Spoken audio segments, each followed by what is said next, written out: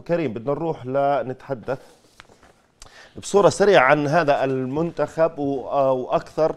نتحدث أيضا عن آه، وجود المنتخب في آسيا. فلماذا اخترنا آه، آه، لماذا اخترنا إيران أو لماذا تم اختيار إيران؟ طيب المنتخب الوطني في آه، آسيا المنتخب الوطني أو منتخب الشباب في آسيا آه، راح يكون بداية البطولة في شهر ثلاث في واحد آه، ثلاث. طبعا المنتخب مثل ما حكينا راح يواجه المنتخب الإيراني وديا يوم غد ويوم الأحد المقبل. لماذا إيران؟ لأنه كأس آسيا للشباب حكينا أنه سيكون في واحد ثلاث. طب المجموعة مين؟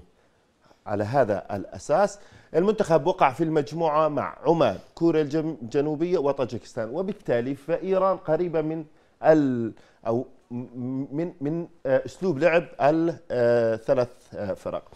في هذه المجموعة يتأهل صاحب المركزين الأول والثاني إلى الدور الثاني وبالتالي احتماليات أنه نتأهل هو احتمال كبير إذا استطعنا أو إذا نافسنا بجدية.